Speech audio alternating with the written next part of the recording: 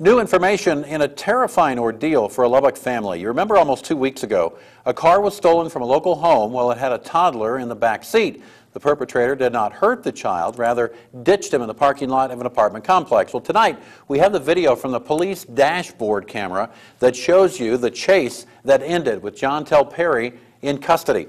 Police say that after she left the child behind, she continued to elude police, but not for long. Investigators found the car with Perry inside it. They made the arrest, then called the parents, told them the child was safe. Meanwhile, Perry was charged with aggravated kidnapping, unauthorized use of a vehicle, evading arrest, and endangering a child.